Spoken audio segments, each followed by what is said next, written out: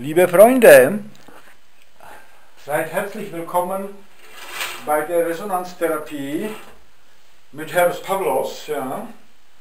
Dies ist eine Methode, bei der ähnlich wie bei den tibetanischen Schalen Vibrationen von einem Körper in den eigenen Leib, wir sprechen vom Leib, wenn es lebendig ist, und vom Resonanzkörper, wenn es aus Stoff, hier in dem Fall aus Holz ist, ja, oder die tibetanischen Schalen aus Metall. Und äh, ähnlich wie am Prinzip der Elektrotherapie und des Ultraschalls, der Wärmetherapie, elektromagnetische Strahlung oder Wellen werden äh, in den Leib geleitet, um dort heilsame Wirkungen zu entfalten. Und zu dem Zwecke habe ich mir über Jahre Gedanken gemacht, und nicht nur Gedanken, sondern auch Töne. Ja, und äh, habe ich also über langjährige Praxis die Erfahrung gemacht, dass das Anlegen der, des Resonanzkörpers der Gitarre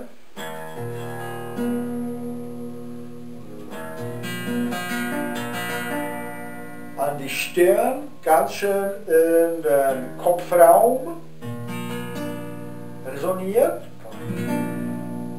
Dann an die Nasenwurzel in dieser Lage. Vermehrt die Nasenhohlräume beeinflusst. Das Anlegen an den Raum zwischen dem Unterkiefer und der Brust, ja, sehr wohl in den Rachenraum und auch über die Unterkiefer in Richtung Trigeminusnerv, ja, ins Gesichtsnerv.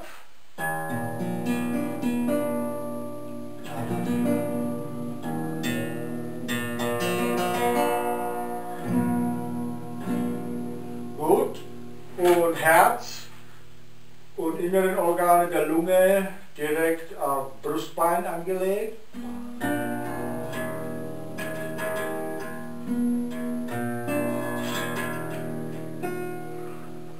Bauchraum natürlich für die Bauchorgane,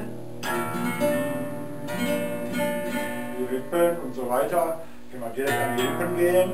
Und äh, am Beckenraum wird direkt an die Beckenknochen angelegt. Bis in die Nieren nach unten kriegt, im Beckenraum oder unten ganz am Schambein, direkt in die Geschlechtsorgane, Blase positiv beeinflusst. Eigentlich sind keine Grenzen gesetzt äh, ihrem Erfindungsgeist, ne, weil sie können zum Beispiel Kniescheiben so machen, Schienbeine wird sie schon das Bedürfnis nach dem, wenn sie dem verfallen, wie ich äh, verfallen war nach einer Zeit lang, den verschiedenen Möglichkeiten.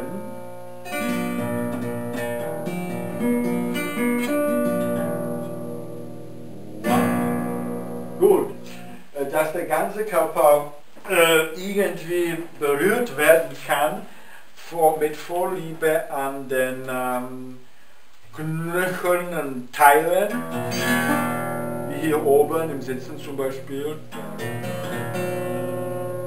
wo hier zwischen dem äh, unteren Schädel ja, und den ähm, ersten Rippen oder dem zwölften Brustwirbelfortsatz, Processus spinosus, also gewisse Kenntnisse der Anatomie. Sind nicht vom Schaden hier oder die ganz angenehme Lage zur Stimmung der Gitarre, Einstimmung des Leibes hier zwischen dem unteren Kieferknochen, ja, so, und gleichzeitig mit der unteren Karte einem Brustbein, aber so ganz schön diesen Kopf-Brustraum gleichzeitig und man kann hier den hinteren Knochen ganz schön anlehnen, mit Druck auch.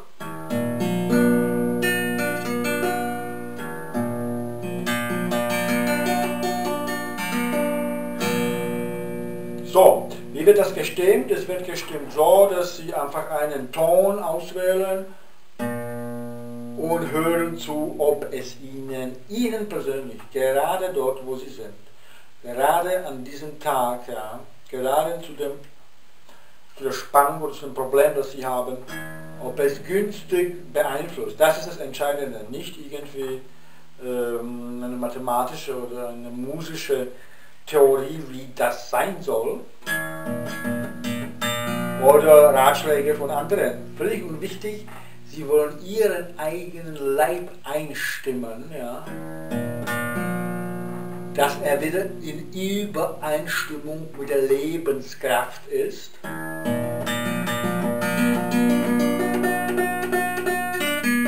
Okay, machen Sie einen Ton und dann den Übergang zum zweiten. Und diese Relation soll auch stimmig sein. Ja? Und danach entscheiden Sie das. Ich habe das schon gestimmt für mich. Ja? Also machen Sie eine Stimme und dann den dritten. Soll wieder stimmig sein. Kann, kann an, an Tagen variieren. An Ihrem Zustand kann es variieren. Ja? Machen das alles so anstimmen. Äh, diese Möglichkeit, dass Sie dabei Vokale auslassen, ja, ist auch durchaus berechtigt, weil wenn Sie das zum Beispiel hier bei, ähm, bei Stimmbänden anlegen, dann kann das sogar sehr positiv Ihre Stimme beeinflussen.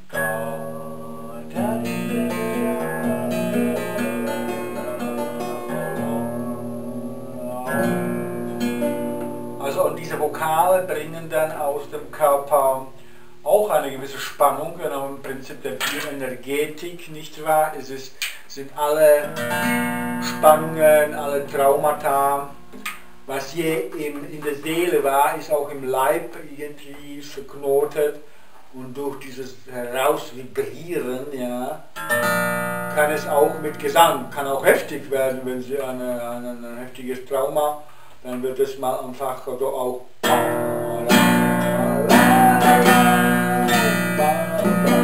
aber grundsätzlich liegt es hier nicht an den Akkorden, sondern an den spontanen Zupfungen ja. Und dem Hören, was es macht. In der heutigen überstressten Lage ist sicher die, das häufigste eine langsame meditative äh, Zupfarbeit an der eigenen Seele über den eigenen Leib. Ja. Aber sicher kennen wir alle Ekstasen von den Gitarristen, also, die dann also und so weiter. Der glaube ich ist etwas auch, das hat damit zu tun, dass diese äh, Rock-Gitarristen entweder sehr lange oder sehr kurz lebendig sind, je nachdem welche Kräfte sie da in ihren Leib leiten. So, um das interessant zu machen, diese Therapie, Resonanztherapie mit Gitarre nach Heros Pavlos, eine kleine Geschichte. Ich war auf Kreta neulich, in Retimon, und da habe ich die Gitarre ständig mit, weil sie ist ein guter Begleiter, denn die Musik ist ja international, sie kommen leicht immer ins Gespräch, wenn sie irgendwo diese Improvisation machen. Und auch an den Kraftorten auf, am Meer, am Fels, am Strand, ja, Preveli Beach oder dann so auf dem Dikti-Berg oder was auch immer, Lassity-Plateau, überall herrscht eine andere energetische bis geomantische Stimmung und zu der entsprechend können sie sich einstimmen und dann komme ich in diesen Laden eines lauten Herstellers, weil mich die Instrumente sehr interessiert hatten. Und nach einem äh, gemeinsamen improvisatorischen Spiel hat er mir gezeigt, dass die, dass die kretischen, urkretischen lauten Spiele im dionysischen Rausche die Gitarre anbeißen.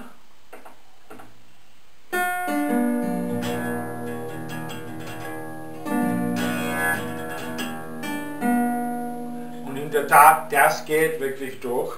Das geht über die Zähne in den Trigeminusnerv und kriecht hier an den Augenhöhlen und so weiter und macht ihren Kopf ganz ähm, zu einem Vibrationskörper. Wesentlich ist, dass sie wirklich sich äh, dabei wohlfühlen, dass sie also auch ihre, äh, das ist dann enger, Lagerungsraum hier, aber wenn Sie im Walde liegen oder im Bette, dann schön richtig den Kopf unterlagern ja, und die Beine, möglicherweise auch den zupfenden Arm, ja, der ja äh, in dieser Lage, weil am meisten wird das in der entspannten Rückenlage gemacht, äh, dass der so, damit er nicht hier gehalten werden muss, was zur Krampfung der Schultermuskulatur führen würde, denn sie wollen ja auf eine endlose Reise sich begeben.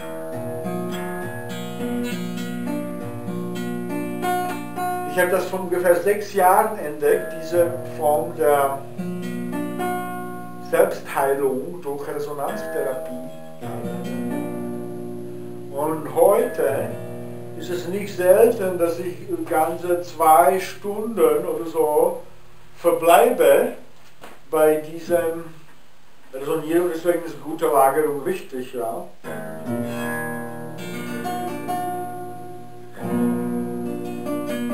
Im Bett kein Problem, im Wald findet sich immer ein Stück Holz oder Sie haben einen Rucksack mit. Ja.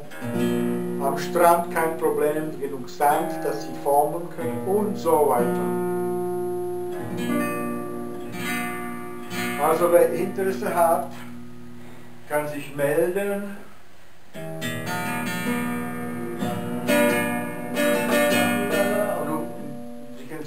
Nach einigen Jahren von solchen Improvisieren wird die Seele befreit und Sie sehen Bilder. Ich muss gucken, bald kommt ein Patient.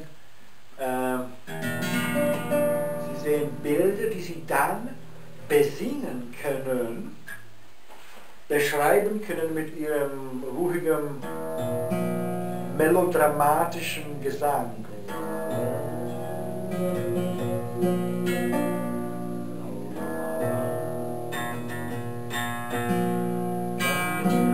Zwingen nicht. Wenn nichts kommt, kommt nichts. Es bleibt beide Improvisation. Ja. Vielleicht mit zwei Händen manchmal.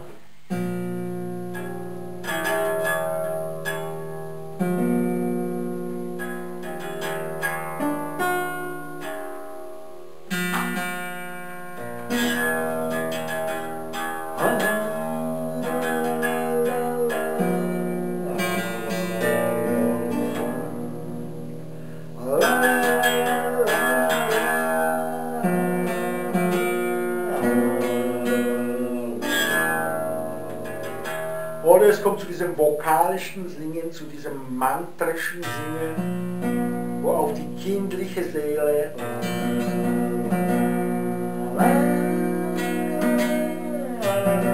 oder jugendliche Seele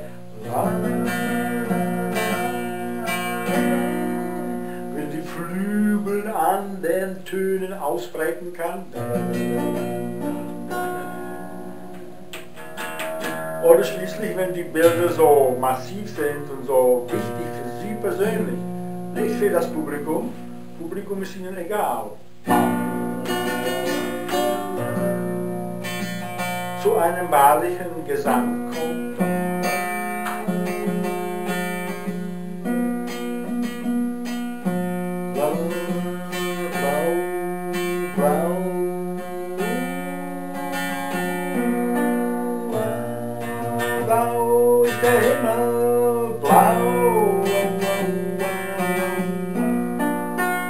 Warum, warum sitze ich hier?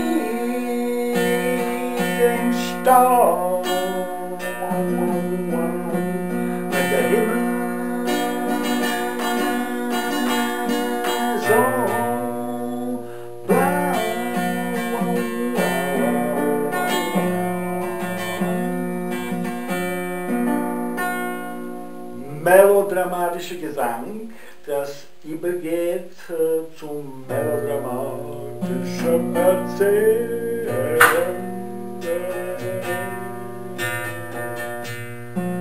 Das weit und breit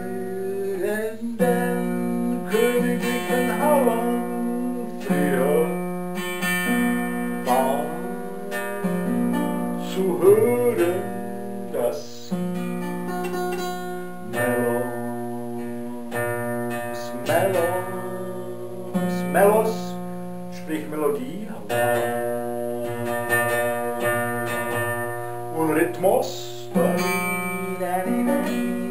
Sprich Rhythmus. Kann es auch dramatischer werden. Mit der Zeit, wie sie ihr Seele befreit,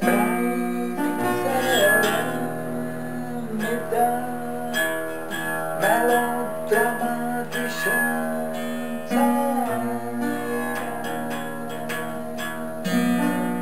dann kann das dramatisch werden für Sie. Okay. Sehen, die äh, Möglichkeiten sind unzählbar, weil in diesem Bereich des äh, seelischen Arbeitens und leiblichen Arbeitens die Zahl eigentlich nichts bedeutet.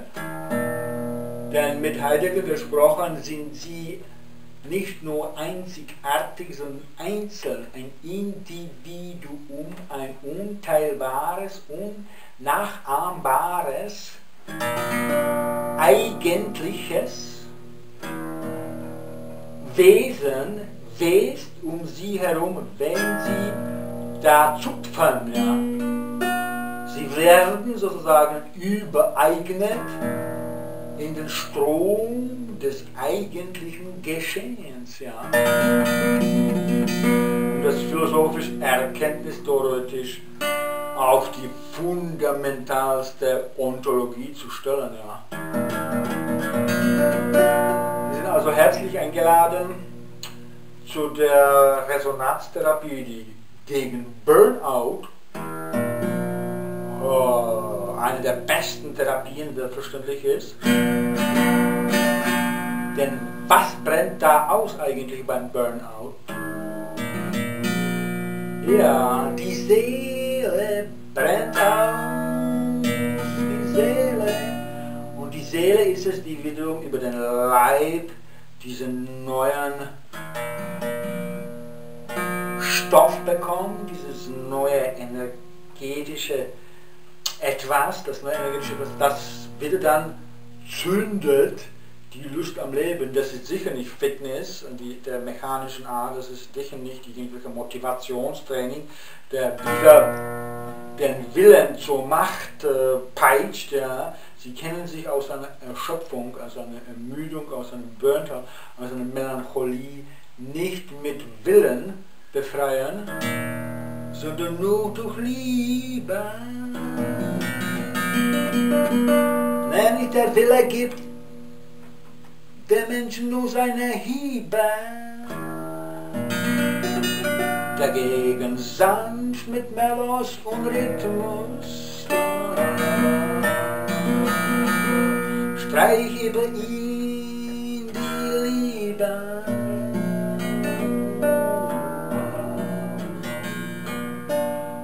Und jetzt ist es soweit, trotz allem Melos, zu allem Rhythmus, ich habe Patienten. Also, bis später.